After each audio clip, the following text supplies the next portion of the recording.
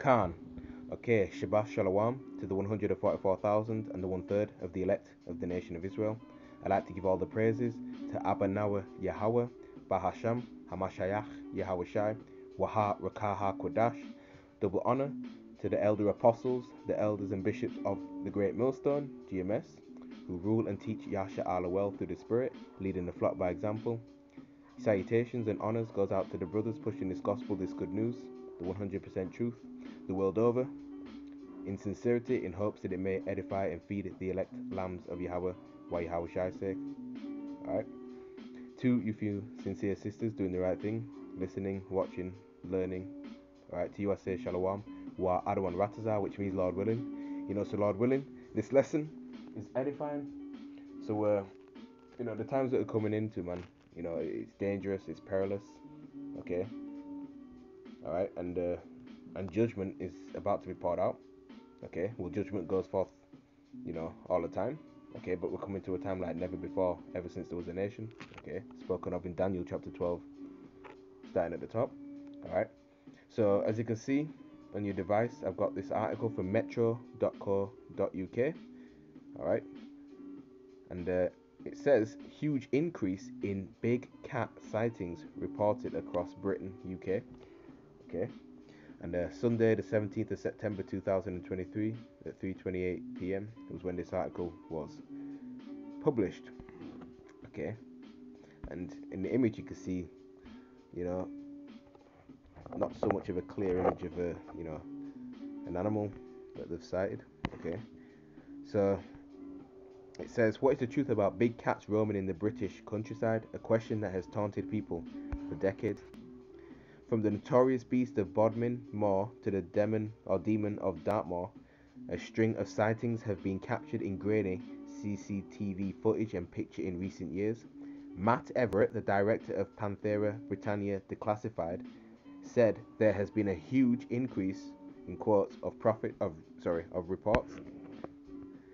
Um, his team has been open quote inundated end quote after July's release of the film, which claims to have uncovered several groundbreaking cases. All right. It says we have even had new videos and photos sent in, which really demonstrates the public interest in this subject. Last week, his team received a video from a man who claimed seeing a leopard and two cubs cross the road in front of him. Wow. Matt said he wanted to remain anonymous for fear of ridicule by his colleagues, harming his career prospects, or even losing his job.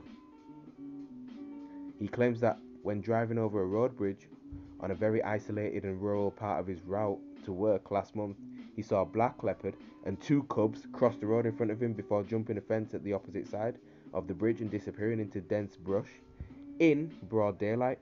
According to the eyewitness, there was no other drivers nearby, so he was able to quickly stop the car and video the sighting. Another clip released by the filmmakers shows a large, dark animal is seen moving around the edge of a field in Norwich. The documentary team previously claimed to have found the clearest photo of a big cat prowling the countryside. Okay. The picture of the large panther like creature was supposedly discovered in the files of a zoology organization. It shows a large muscular black cat lying in long grass, apparently in Smallthorne, Staffordshire. It was dated March 17, the team said, but it was unclear which year it was taken. Tim Wittard, the show's producer, said, We are pleased to have raised, raised public awareness of this fascinating subject. And it does seem that we are now developing a broader and more mainstream acceptance within the public zeitgeist that there is a lot more to this than just folklore and urban legend. Alright, so you know, this this is you know serious, okay? Right. So we, we can see that you know that the Lord has you know forms of punishment ready to be uh, administered. Okay. So we'll get straight into the, uh, scriptures. Alright. Because all this is, is prophesied. Alright, so we are indeed in some exciting times, man, and prophecy playing out. Okay. And you, you know, wicked people that walk the earth. Alright. You know, you're gonna have a rude awakening, man. Okay. So let's get the book of Sirach, chapter 39, starting at verse 28, which reads There be spirits that are created for vengeance, which in their fury lay on sore strokes. In the time of destruction, they pour out their force and appease the wrath of him that made them. Okay, so the Lord has spirits created for vengeance. He has righteous angels on the right hand side, and wicked angels, also known as demons, on the left hand side, that carry out the commands of Yahweh and Bahasham Yahushai. Okay, and they are ministering spirits, which the word minister means to serve. Okay, so to serve the Heavenly Father and His Son. All right, and they exact vengeance. Right, of the Heavenly Father and His Son. Right, upon the wicked people that walk the earth. All right, in whatever form the Most High pleases. You know, in whatever form He wants judgment to carry out. Well, He's got His angels to do the bidding. Okay. Verse 29 Fire and hail and famine and death, all these were created for vengeance. What about that fire in Maui, in Hawaii? Okay. Look at the death toll regarding the floods in Libya, right? The Turkey Syria earthquake and the Moroccan earthquake as well, right? Famines across the board, man made and natural, alright? And there's many more to come, alright? These are forms of pain and, and punishment, alright? And guess what? It takes place under the sun, which is planet Earth, where judgment is played out. Right, Book of Ecclesiastes tells you that. Right, verse 30 teeth of wild beasts, okay, like that big cat sighting, and scorpions, serpents, and the sword, punishing the wicked to destruction. They shall rejoice in his commandment, and they shall be ready upon earth when need is, and when their time is come, they shall not transgress his word. Okay, so we're coming to a time like no other time on earth since there was a nation. Alright, so it will get wild and brutal out here. Okay. Now, animals attack people all the time. Okay, so this is nothing new or out of the ordinary, you know, at all. So, um, you know, right now you got, and and in the past, you know, you've had a lot of animal habitats being uh, destroyed. Okay, so now the, these predators are moving into rural areas, all right, because you know their habitats have been, you know, have been taken over, right. So they've been displaced and and you know they're moving, they're moving about, they're on the prowl, things like that. Right, so they're coming to like rural areas, right, where people live and things like that, man, which poses a significant threat. All right. Okay, and don't forget how angry these animals are in the zoo, man, which is a prison for them. All right, they've just been locked up unjustly. Okay, so that, so they've got all sorts of anger pent up in them and ready to be unleashed. All right. Let's get a another scripture. Just bear with me.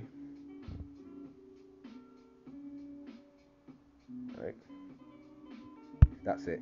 This is Second Esdras, chapter 5, and verse 8. There shall be a confusion also in many places, and the fire shall be oft sent out again, and the wild beasts shall change their places, and menstruous women shall bring forth monsters. That's right, man. And here's the point: wild beasts changing their places, places where you you don't think they would be. Okay. Now they're over there. All right. So basically, you know, when when these uh, power grid goes down for the you know the, these um, electronically controlled gates that basically you know operate on that power grid. When that's when the power grid goes down those gates are going to be open and the animals are going to be loose all right they're going to get busy all right and the lord will put the spirit on these animals to get busy all right all right because these, these animals man they're, they're looking to protect their their cubs or their young ones and things like that, man. Alright? And guess what? One clamp of that jaw of a jaguar or, you know, a puma around your neck, you know, that that's you over. You know? Let's get uh, Amos chapter 5. We'll start at verse 18. Woe unto you that desire the day of the Adawan Yahweh, Bahasham Yahushai. To what end is it for you? The day of the Adawan Yahweh, Bahasham Yahushai, is darkness and not light. Okay? And if you don't have this truth, wisdom, knowledge, and understanding in that time, if you're not part of the elect, then you basically prey out here. But we have faith that we will be uh, sustained, you know, because we know what the day of the Lord entails. Alright? Verse 19 As if a man did flee from a lion, and a bear met him, or went into the house and leaned his hand on the wall, and a serpent bit him. Now, basically, this is metaphoric in that, you know, we will go from one trouble to the next. Now, it's possible that this could happen, that it could be, you know, from a lion and a bear, right? You know, that could take place, but it signifies, you know, one, you know, trouble to the next. Okay? Now, you know, you could escape from an animal, then, you know, you end up getting caught by martial law, martial law troops. All right, I'll get caught up in a, a natural disaster. You know, you flee from one thing and then get caught up in the next. Okay. So you know, there's no escaping the judgment of Yahweh Shai. All right. Verse 20 Shall not the day of the Adawan Yahweh Bahasham Shai be darkness and not light, even very dark and no brightness in it? That's right, man. So it's gloom and doom coming. Okay, and these Christians are sadly mistaken, thinking that the Lord is coming back with with chocolates and flowers, and it's going to be a happy dandy day. But you know, they they they don't understand the scriptures, right? See, they're spiritually discerned. Okay, let's get Isaiah chapter 66, starting from verse 15. All right, which reads. For behold, the Adawan Yahweh Bahasham Yahushai will come with fire. There goes that fire again, right? And with his chariots like a whirlwind to render his anger with fury and his rebuke with flames of fire. Okay, so you got your ICBM missiles, right? You got the chariots, okay? High concentrated laser beams coming from the chariots, man. Okay, you know many. Uh, we know Babylon the Great is going to be turned into a lake of fire. It's going to be destroyed. Okay, and other places you know, will be hit too. You know, London may be hit, Moscow, capital of Russia, may be hit. The land of Israel, okay, will, will be destroyed too. Okay. Verse 16 For by fire and by sword will the Adawan Yahweh Bahasham Yahushai plead with all flesh, and the slain of the Adawan Yahweh Bahasham Yahushai shall be many. That's right, man.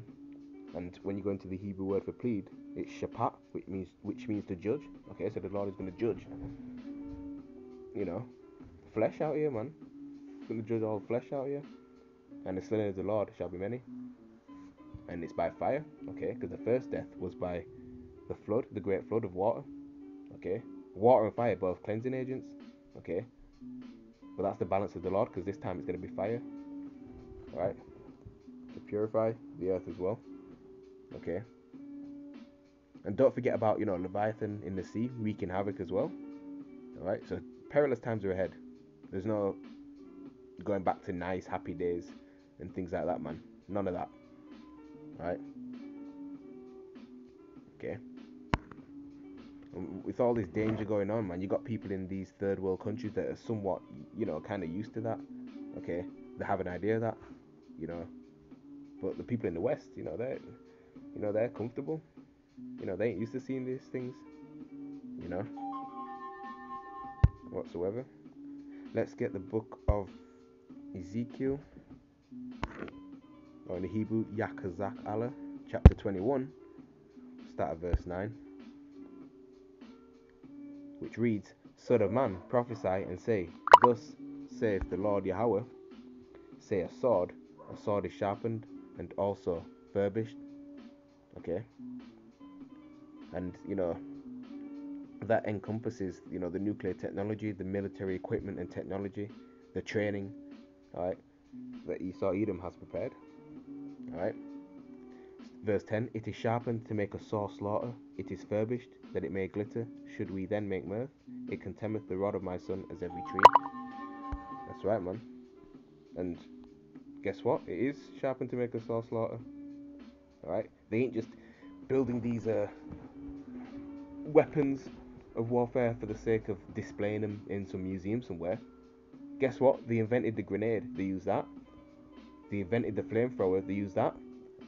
They invented um, many other weapons, and they used those. So what makes you think they won't use this? Okay. And of course, it's all the Spirit of the Lord, anyway. Alright? And you know, mirth, going into like joy and happiness, a lot of our people are into that, man. So called Negroes, Hispanics, Native Americans, Seminole Indians, West Indians, and Haitians, and the Israelite foreigners too, man, are caught up in the ways of this world and then partying and enjoying yourselves constantly. right? So you're to be surprised what's to come down the line. right? Verse 11 And he has given it to be furbished, that it may be handled. This sword is sharpened, and it is furbished to give it into the hand of the slayer, and the slayer is Esau Edom, the so called white man. Okay, because his blessing is a sword, man. That's right, man. When when you furbish something, you sharpen something, you're basically preparing it to be better, to you know, to use it for, you know, to have to be basically be more of an effective tool. All right. That's what happens, you know, when you when you you, you furbish something, you sharpen it, okay, so it can be used more effectively. All right. Just like the weapons that this man has. All right. So, you know, these things are going to be used for destruction. It's, it's simple as that, man. Right. So, these animals, man, they've got they've got a bone to pick with them people that put them in a zoo. you know who's behind that, man. So, uh, you know, I'm gonna end the lesson there, man. Kal Halayim La Yahweh Bashem Yahushai. Kwam Yasharala Wa Abad Babal. Double honors to the apostles of Great Millstone. Shabbat Shalom to the elect, signing out.